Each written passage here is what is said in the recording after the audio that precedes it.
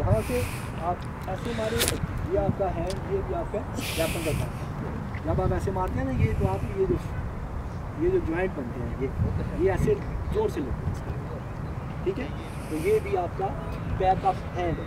Back of punch जो आप मारते हैं यहाँ से, ये भी इसी तरह लगता है, यहाँ से ऐसे, यहाँ से ऐसे आप इसको मार रहे हैं यहाँ से ऐसे मारें। तो ये आपका बैक ऑफ़ बैक पंच जो है, इसका तरीकाकार भी यही है। तो सबसे पहला आपका कौन सा टैग हो गया? Front of hand front of hand और बैक ऑफ़ हैंड ठीक हो गया? ठीक होगा इसके बाद आपका इंडेक्स फिंगर से लेकर थम के दरमिया हिस्से को इनर ऑफ़ हैंड करते हैं।